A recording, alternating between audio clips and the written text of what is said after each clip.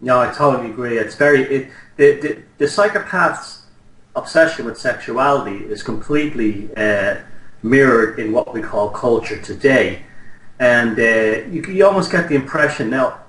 Growing up here, and I know Denmark is, is very liberal and always has been very liberal, but it was a tremendous education growing up here in Ireland, being the age I am, and seeing that transition from a sort of what they would call a conservative society to a very liberal society now. And you know, back in the old days, you know, it's uh, it, it's it's not that people didn't have sex; they did. You know, they did. They did. Everybody was everybody was fucking every you know somebody back even back then. But there was a.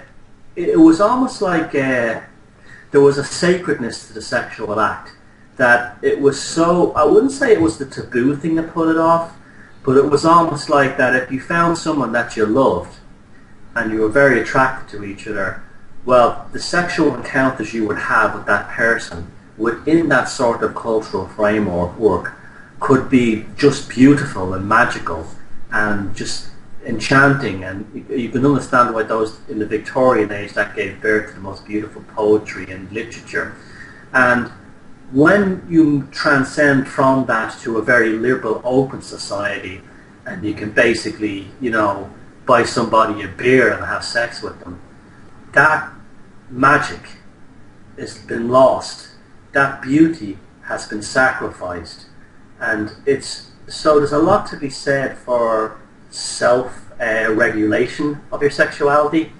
I, you know, in, in, that sense, because I think a lot of people are growing up now in the Western world who just don't understand the, the concept of sacred, a sacred sexual union. And I'm not talking about religion here. I'm talking about that, that incredible sort of uh, sense of bonding that two people can have it doesn't exist it, for it's, many. It's now. it's both, and it's tragic. It's tragic. And what what's happening is they're being turned into how psychopaths view sex. Psychopaths don't view sex like that. To them, it's a power trip. It's something to do. Mm. And and and I think it, it it's it's two parts. The way I view it, um, it's um, it's the this mind thing. It's um, it's the ecstasy, right? The, the the classical term ecstasy. When because sexuality is something that uh, is outside of normal life when it's done right. Uh, eroticism, romance, uh, sexuality. It's all. It, it, does not belong in in everyday life.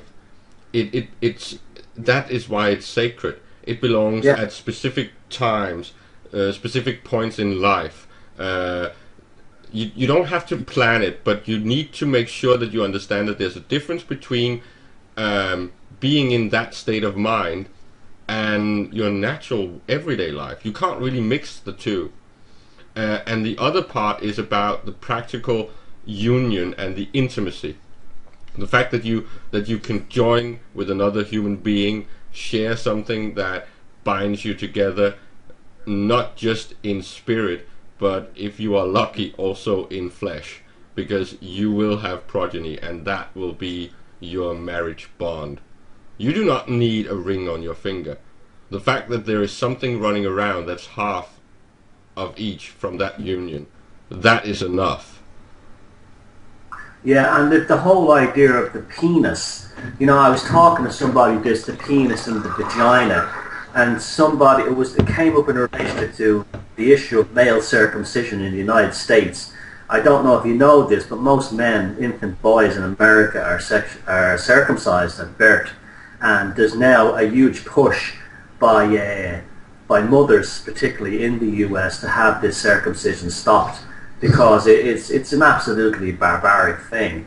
Uh, it, it, serves no no real medical purpose whatsoever. Mental. It, it serves a mental purpose. I was just yes, it, causes a form of uh, psychological uh, dissociative identity First disorder. First of all, you get you get violated, um, and second of all, you um, you you you lose some of your sensation, and if you yeah, and if you look at it that way, right, it's uh, it's numbing the person. It's a desensitizing agent. Exactly. Yeah. And that's yeah. important. I was just watching the uh, um, the the Stefan Molyneux um, um, uh, topic where he's talking about um, nurture and uh, caressing and um, and and and how violence versus uh, nurture, right? If if if you if you become violated at some point in your childhood, you will not be able to feel pleasure the same way ever again. You become damaged goods, right?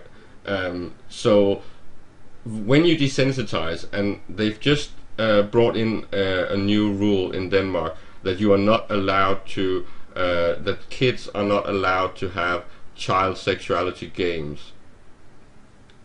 They they're not allowed to to to do those um, sexual uh, playful things that they do. What like what? Like what? Well, you know when when prepubescent kids uh, experiment with sex. I'll, I'll show you yours, you show me mine kind Think- of thing. Things like that, and and they touch the little boys, they touch, yeah, okay, they show, yeah, okay, that, that's now banned. that that is banned now. They're not allowed to do that. They are supposed to stop kids from doing that. And But that's how they build gender identity. exactly, and, and and the point is that that means that this is just more desensitization of the kids. This is this is Oh, just it's making like that story, yeah, okay, gotcha now. It's like that story in Sweden where you have the genderless preschools now. Yes, and, and you are just totally taking out sexuality, taking out physical contact, taking out empathy or asserting your own sexuality. Yep, yeah, and it's, all- well, this is all transhumanism, so this is all heading for. Totally. That's what that's that's that's what they're aiming for. Tran transhumanism is, uh, it, it, you know, the whole like the, machine won't have any sexuality. This is why so many psychopaths are obsessed with transhumanism. They see it as gone the next stage. I choose transhumanism because I choose to win. You know all this crap. And uh, yeah, that's that that's that's all that is about. The first thing you have to do is if you want to implement the transhumanist globalist society, first thing you do is you kill the traditions, you kill the cultures, you kill the religions, you kill the national identities. The next thing you do is then you kill these uh, the social archetypes within the society, the family, the family structure, the the sexual identity, the sexuality even, and uh, even the, the internal relationship between mother, father, son, daughter, brother, sister. Once you break that up, everyone is then dependent upon the state, and then you can create your human brand human towards the, the transhumanist model, and then they can have their the, the transubstantiation of the the human with the machine into the techno Christ, and that's